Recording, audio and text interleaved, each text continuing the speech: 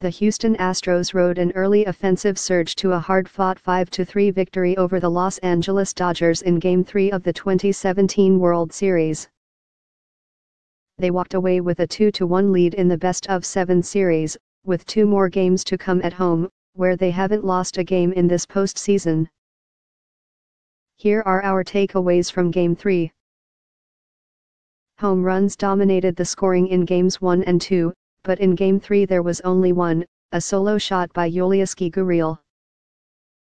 While Gurriel's blast set the tone in a big inning, the real damage from Houston's offense came after the homer thanks to a double, a walk, a pair of singles and a sacrifice fly. As expected, Houston's offense looked more comfortable at home, with guys like Josh Reddick, Brian McCann and Gurriel suddenly becoming contributors. Jose Altuve, though, has stayed in a slump despite his home run in Game 2 and is batting just 3 for 15 in the series. The Astros are 7-0 at home in the postseason, and can win a championship at home on Sunday if they can stretch that to 9-0. Dave Roberts continues to empty his entire bench. Two days after he used all of his position players and his entire bullpen in a loss, he used five relievers and three pinch hitters in Game 3. The heavy use of pinch hitters was especially surprising since the game was played in an American League park, so pitchers weren't hitting.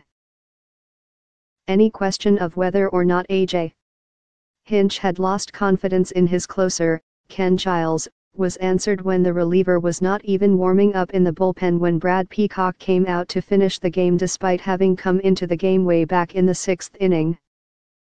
Giles is in a deep funk, and keeping him out for at least a game was likely necessary to help him shake off his recent blunders.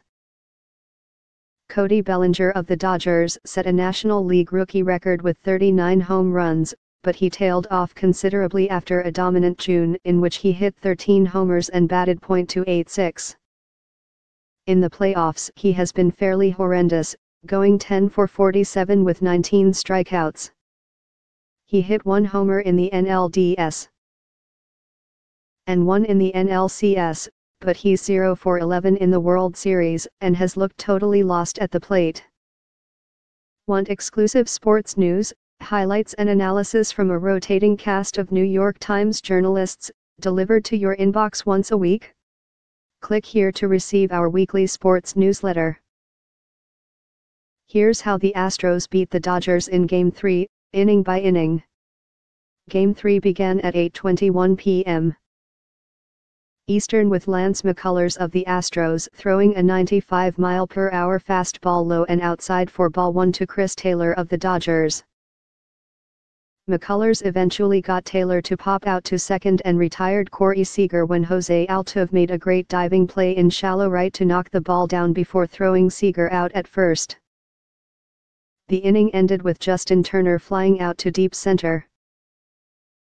Waldstein, Yu Darvish takes the mound in the bottom of the first for the Dodgers as the first Japanese starting pitcher in the World Series in 10 years. The last one was Daisuke Matsuzaka for the Boston Red Sox in their four-game sweep of the Colorado Rockies in 2007. Matsuzaka also started Game 3.